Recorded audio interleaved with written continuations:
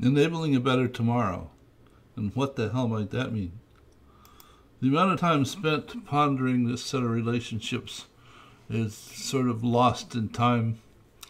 Trying to understand why it is when we understand what the right things are to do, we continue to act in a manner which creates unintended consequences or simply creates new problems that other people have to deal with so that the majority of today's problems are the direct result of yesterday's solutions.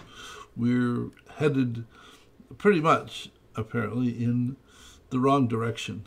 Things get better for a period of time and, and then they get worse and, and then they get better and then we they get worse and we seem to be stuck in this cycle and and the question I continue to ponder is why is it that we go about doing that on an ongoing basis. So I've, after pondering this for an extended period of time, I've tried to take it apart and think about pieces and how an understanding of better understanding of some of the pieces might better enable us to avoid what seems to be the consistent result of our actions, which is to make situations worse or create new problems that other people have to deal with later. So in attempting to do that, if I begin with a, a situation, some I, I, call them situations because some people call them problems, and sometimes it's simply something that I want to create. Some manner of things are not as I would like them to be, or groups of people would like them to not be. So that there are very few situations where I am, in fact, the only stakeholder. There are typically multiple individuals and groups of individuals who are in a position to act upon or be acted upon by the situation being considered. And the intent is to, to think about what are the implications of that situation if we simply choose to do nothing. The, and what would we really like the ideal alternative to be? We typically deal with problems in a, in a manner where we simply want them to go away as opposed to using them as an opportunity to figure out how tomorrow could actually be better than today once we've dealt with the situation. We also have to think about the assumptions that we make because we're all biased. We all have a set of beliefs under which we operate. And for most of us, we're um, we don't take kindly to having those beliefs challenged, yet as many authors have claimed, many of the things that we believe are, are just plain wrong.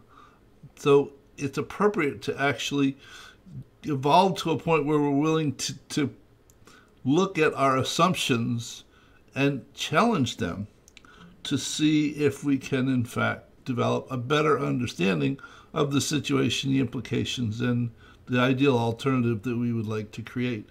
But between the situation and the ideal alternative, there's a gap that we would like to resolve.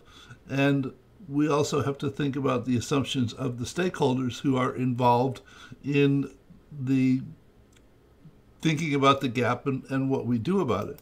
So we have to think about the, the trends that have evolved over time. I mean, we often deal with situations as though they are events that simply occurred because we weren't paying attention or we were paying attention to other things. And once it got our attention, it just looked like an event. But there are actually trends that have evolved over time for the situation to become what it is at the moment. So we look at the trends, we understand the related components that are responsible for those trends. Structure influences behavior far more than, than we typically think about.